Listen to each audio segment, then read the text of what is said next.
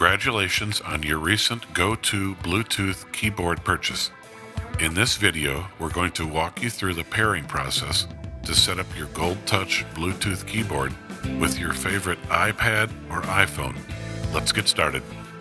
Let's begin by making sure the keyboard is in Mac mode. You'll notice a slider switch on the back of the keyboard designating PC or Mac mode. Move the slider switch to Mac mode. Next, confirm that your keyboard is turned on. To put your keyboard in pairing mode, press the connect button on the back of the keyboard. We recommend that you put the keyboard in pairing mode prior to having your system search for Bluetooth devices. The blue LED pairing light on the keyboard status bar will blink when the keyboard is in pairing mode. As soon as the pairing light is blinking, go to Setting on your system and click the Bluetooth icon to begin scanning for Bluetooth devices.